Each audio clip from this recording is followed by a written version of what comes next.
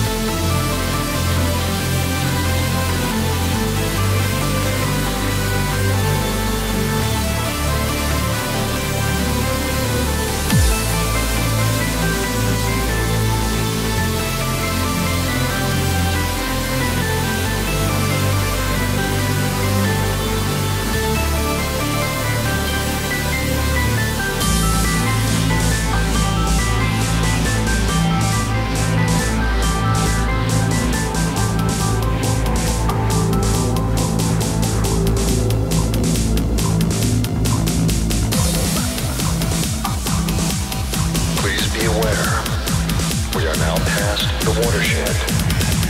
If you are easily offended by explicit content, we strongly advise that you shut the fuck up.